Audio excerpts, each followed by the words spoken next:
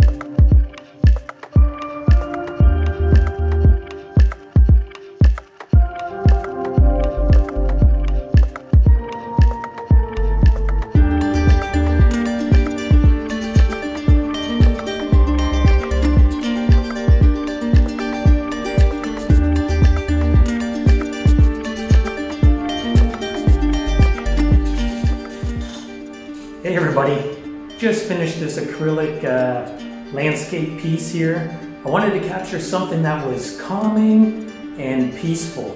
And uh, to me, that's what uh, I get out of it. So let me know in the comments uh, how this painting makes you feel and uh, I'll be sure to answer you. So hopefully you like it and until next time.